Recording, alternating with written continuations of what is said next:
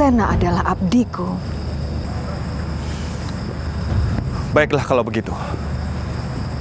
Tapi aku minta, cabutlah sukmaku dan jiwa Paman Koneng dari dalam diri Bratasena. Karena aku sangat yakin, Nyailah yang bisa melakukannya. Sudah kubilang, aku tidak bisa melakukannya.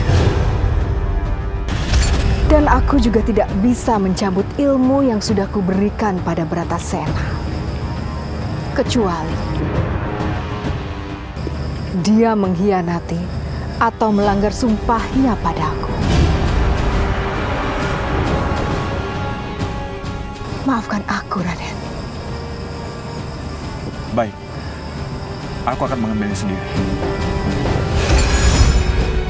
Ada baiknya apa yang dilakukan Bratasena. Sehingga Raden Surya mau menemuiku.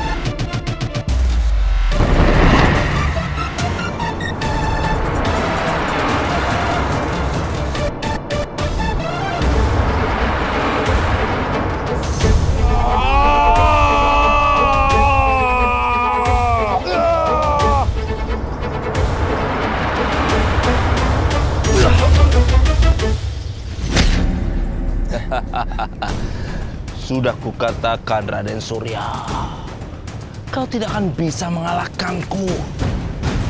Karena di dalam diriku terdapat sukma saudaramu.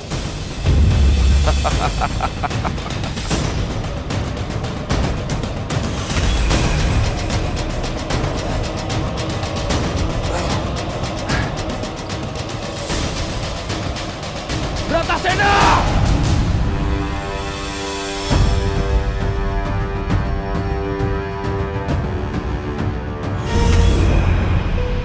Inna lillahi wa inna ilaihi raji'un.